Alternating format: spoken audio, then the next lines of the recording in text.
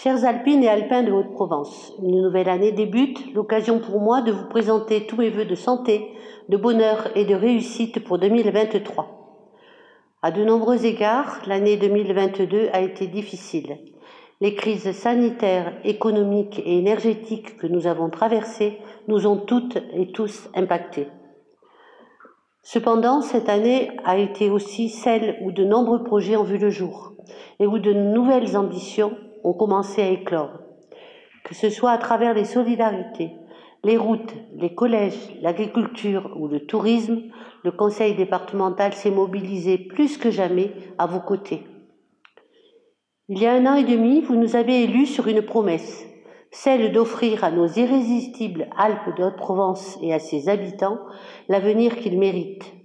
Cette promesse, nous la tenons au quotidien et nous continuerons à la tenir pour faire honneur à la responsabilité que vous nous avez confiée.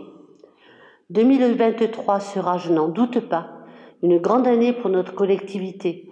Vous pouvez compter sur moi et sur ma détermination. Belle et heureuse année à toutes et à tous.